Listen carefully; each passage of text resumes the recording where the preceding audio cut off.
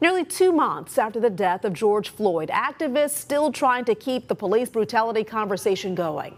Our Danae Bucci has a local activist side of the story.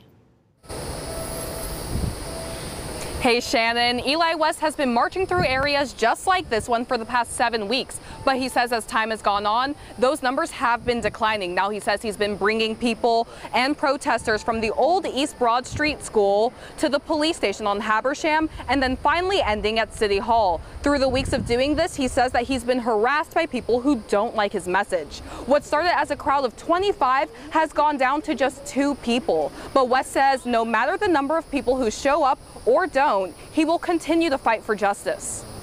A couple of weeks ago, we were like, hey, let's just move with four people. I literally did the march with four people and still made a statement. So it doesn't matter about my numbers. if we continue to do it, then the people in city council and the elected officials understand the voices are going to be heard.